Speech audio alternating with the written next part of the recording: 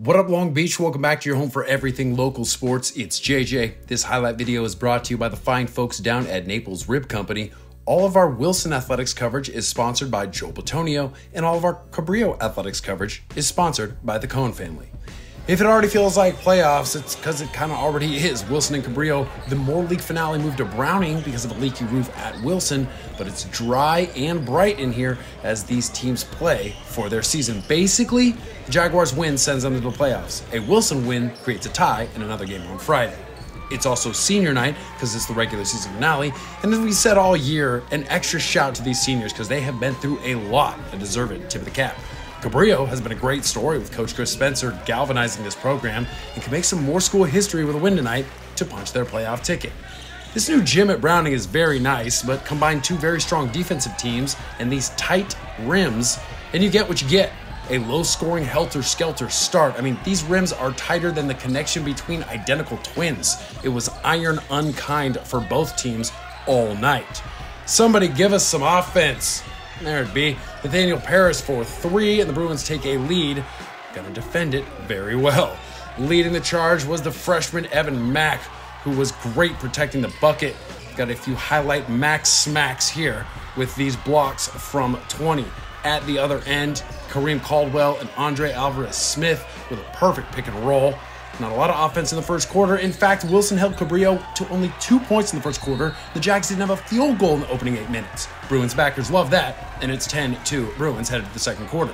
But Cabrillo comes alive in the second. Mason Johnson to Caleb Curry for the lay in. Then former Bruin and current Jaguar Lincoln Dean gets hot. Hits that three in rhythm. Then he's going to go coast to coast. The dean of comebacks pulls his team with back in it. It is 13-13 with about three minutes left until halftime. Now for something completely different. Offense is not exactly shooting the lights out, but here we are. New gym, new issues. Look at how fast those lights come back on. Old gyms everywhere. Very jealous. The yakety sax nature of this first half continued, and Wilson just had more comfort in the chaos.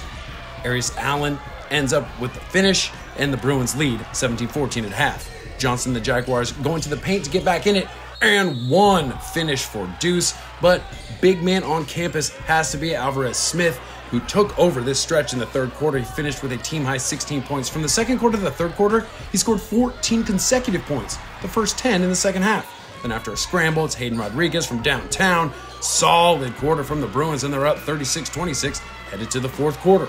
Wilson going to their bench to protect the lead. Jeremiah Graham was key to that. Yeah, teardrop only had a few buckets, but they were all key down the stretch. He had all of his eight points in the fourth quarter.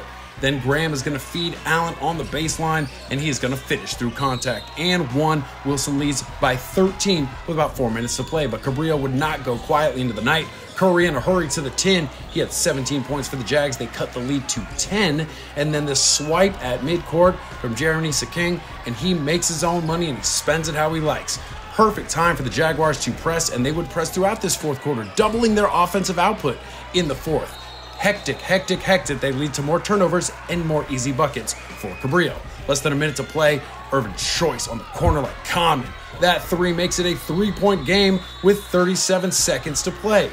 Wilson responds well, then go break the press. Paris puts the Bruins back up by two possession as time runs down, but Lincoln has another trick up his sleeve and he comes down and fires a quick three, game high 22 for him. Jaguars going to go right back into the press and they're going to immediately force another turnover for a chance to either tie or take the lead. This is crazy because Cabrillo really came alive in the fourth. So it is a two point game with 16 seconds left. Great inbound defense from Hayrod, though.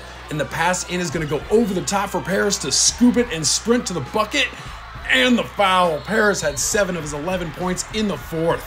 Wow, what a finish, what a moment for Wilson. Their season is alive with that 57 52 victory. But a wild game and a wild night gets even, well, wilder? As the teams shake hands, a parent comes down, for lack of a better term, tried to fight Wilson coach James Boykin. Credit to the Wilson security, they stopped that, but then it spilled out into the parking lot. For more information on that, we have a story at the562.org Obviously, nobody wants to see that. But what you do want to see is good quality basketball getting played again. Wilson and Cabrillo now have to play again on Friday, and the winner there will punch their ticket to the playoffs. That's going to be at Millikan High School, a neutral site, 7 p.m. on Friday. For all of that and literally everything Long Beach sports, you got to keep it right here at the 562.org.